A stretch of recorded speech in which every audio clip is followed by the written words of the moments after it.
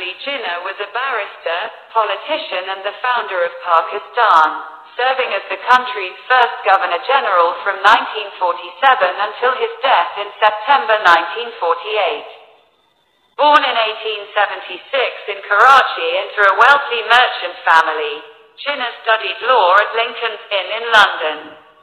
In 1895, he became the youngest Indian to be called to the bar in England at the age of 19. The following year, Jinnah returned to India to practice law, but he also became keenly interested in politics.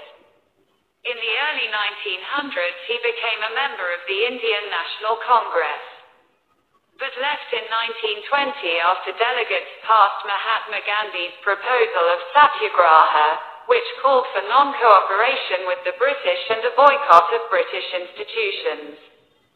Jinnah found this approach too radical and called it political anarchy.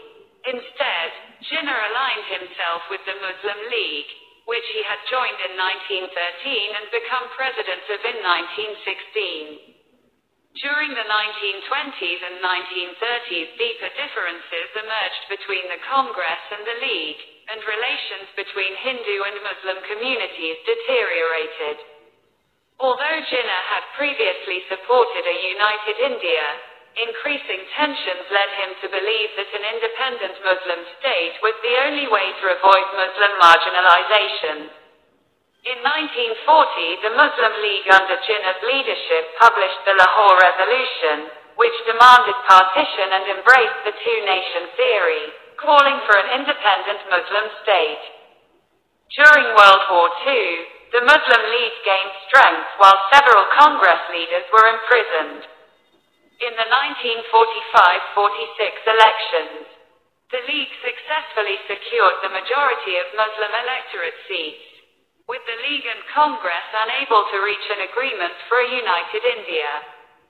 Jinnah agreed to Lord Louis Mountbatten's plan for two separate states.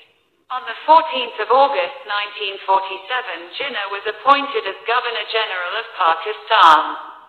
Over the next year, Jinnah worked to establish Pakistan's new government and its policies, at the same time as aiding the millions of Muslim migrants who had traveled across the border.